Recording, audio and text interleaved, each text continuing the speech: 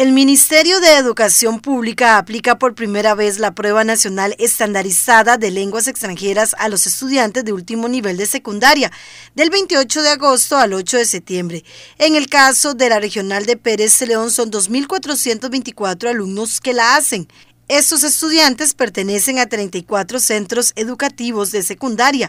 Sin embargo, como la prueba se hace por computador y se requiere de un buen internet, los estudiantes de 16 de estas instituciones deben ser trasladados a otras. Comenzaron más de 1.400 estudiantes aplicando la prueba.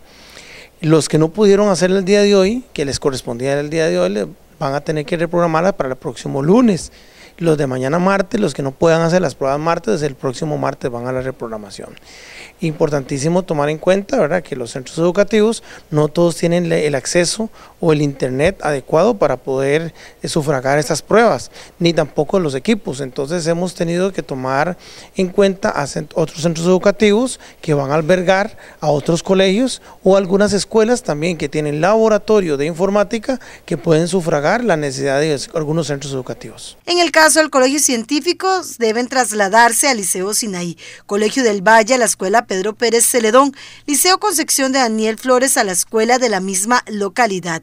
En el caso del Liceo Aeropuerto Jerusalén a la Escuela de Lomas de Cocorí, el Liceo de Platanillo a la Escuela La Palma, Liceo Rural Buenavista a la Escuela Juan Valverde, el Liceo Rural Jardín y el Liceo Rural Los Ángeles al Colegio Técnico Profesional Ambientalista de Pedregoso. Y el Liceo San Francisco al Liceo Las Mercedes de Cajón mientras que los alumnos del Liceo Nocturno de San Pedro a la Escuela de San Pedro, del Colegio Nocturno de Sinaí al Liceo Sinaí, el Liceo Nocturno de Pérez Celedón al Liceo UNESCO y Cindea Lomas de Cocorí Central al Colegio Técnico Profesional San Isidro.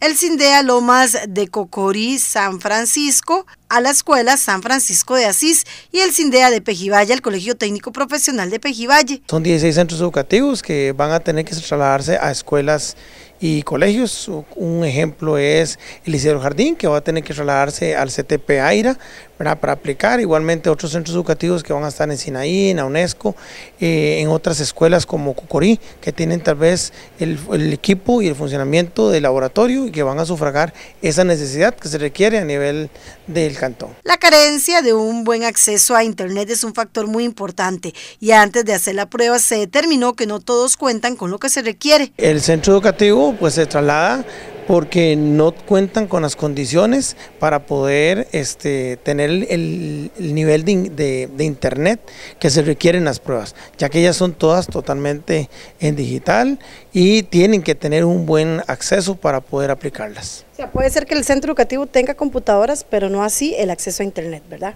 Correcto, eso nos sucede en algunos centros educativos como, como por ejemplo Em, San Francisco que está que tiene que trasladarse al Liceo de las Mercedes, ¿verdad? que tiene laboratorio pero no tienen el internet.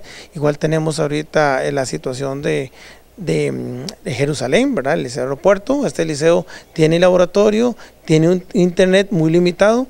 Ya hicimos las pruebas, comenzó con dificultades, pues se pudo lograr hacer algunos. Vamos a transcurrir, vamos a esperar el transcurrir de las, de las pruebas para ver si se mantiene ahí o tenemos que trasladarlo a algún centro educativo. En el caso de las pruebas estandarizadas en noviembre son escritas. Ya las pruebas estandarizadas ah, para lo que es el mes de noviembre, que es todo primaria y secundaria juntos, eh, y para primaria son cuatro días, y secundaria son cinco días, eso va a ser muy muy importante el acceso, ¿verdad? Porque va a ser eh, aplicada, aplicadas, ¿verdad? Algunas por internet. Bueno, estas pruebas de noviembre prácticamente todas van a ser más bien eh, escritas, ¿verdad? No, no van a ser digitales, pero puede existir la posibilidad que se hagan algunas como un plan piloto.